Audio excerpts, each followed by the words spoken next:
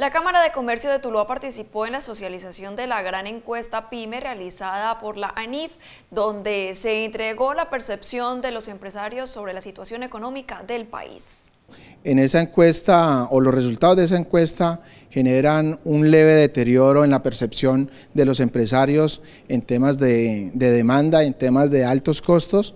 Eh, ese, leve deterioro pues puede dar también al tema de la situación económica del país. Para nadie es un secreto que eh, no se han colmado las expectativas en el cumplimiento de la política económica del país y adicionalmente a eso también tenemos el reflejo de la política internacional de, forma económica que también ha afectado eh,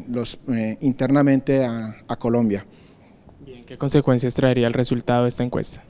Bueno, esa es una percepción obviamente de, los empresarios encuestados, pero también allí se les pregunta a ellos la perspectiva para el siguiente semestre, indicando que ellos ven un leve mejoramiento, no como el esperado, pero también buscan que en el primer semestre hay que esperar los resultados del primer semestre del 2019, a ver cuál fue el resultado con la perspectiva que cada uno de los empresarios encuestados reflejaron en la o van a reflejar en la nueva encuesta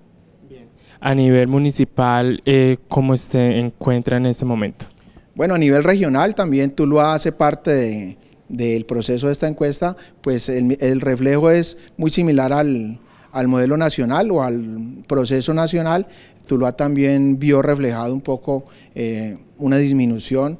para el año 2018 en el segundo semestre, pero con una perspectiva del, primer semestre del 2019 en tratar de mejorar en procesos de demanda, en procesos de mejoramiento de costos y generación de empleo.